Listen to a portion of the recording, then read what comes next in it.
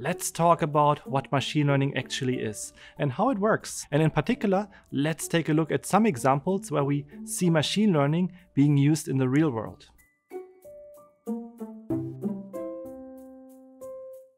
Most of you have probably a phone where you unlock it with, let's say, face recognition or a fingerprint. And yeah, this is powered by machine learning. It's something you carry with you in your pocket every day. Or another application of machine learning is road sign detection. So for example, modern cars, they have camera systems that can detect road signs on the road and then also yeah, extract the speed information to be displayed on the main display in the car.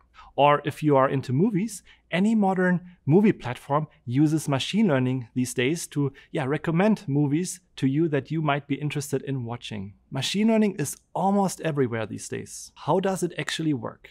So the key idea behind machine learning is that we let computers learn from data. So how do these computers learn from data though?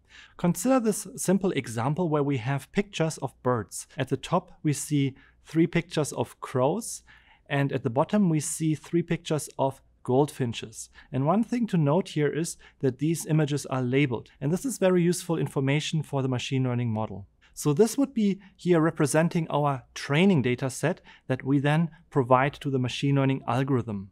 And this machine learning algorithm will process this data and come up with a bird classifier. So the bird classifier here is really like the end product that we get out from applying a machine learning algorithm to a training data set. And then the overall goal, of course, is to classify new bird pictures. So a machine learning classifier is the product that we build, and then we want to apply it to solve problems. Imagine you have a camera system in your garden to check which birds visit your bird feeder. With our bird classifier, we can provide new input images and make predictions. So in this case, it's a picture of a goldfinch. This time we don't have a label, but since we have our machine learning classifier now, it can process this image and make a prediction of what type of bird we see here. Now, we introduced machine learning as a way of teaching computers how to learn from data. You might wonder though, what does it have to do with deep learning? I mean, the title of this class is Deep Learning Fundamentals. How is machine learning actually related to deep learning? So let's take a look at that in the next video.